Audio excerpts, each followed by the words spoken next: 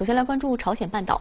自韩美周一举行联合军事演习以来，朝鲜方面有别于往常保持相对平缓的状态。然而三天之后，也就是在周四的傍晚，据新华社援引韩国媒体的报道，朝鲜朝东北方向海域发射了四枚疑似短程弹道导弹的飞行物。韩国方面立即加强监视。有分析也认为，这和韩美军演有直接的关系。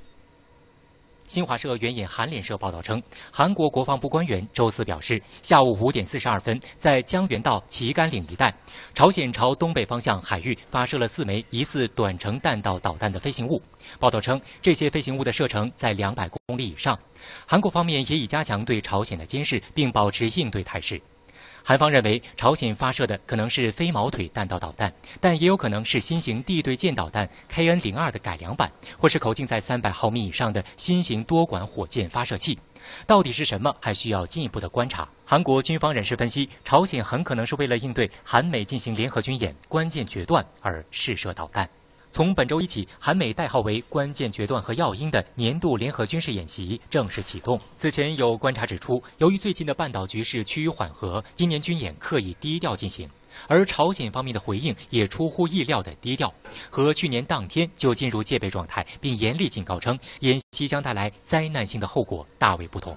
然而三天后，朝鲜突发导弹。韩国这种报道呢，现在还有待证实。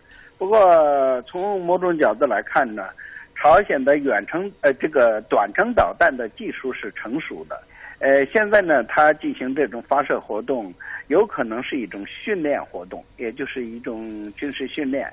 但是呢，从政治上来讲呢，很有可能是向韩美这个军演呢进行某种示威，表示自己的不满。整个的目前朝鲜这个外交大局的追求来看呢啊。他现在不太可能采取呃其他的具有这种呃冒险性的一些举动。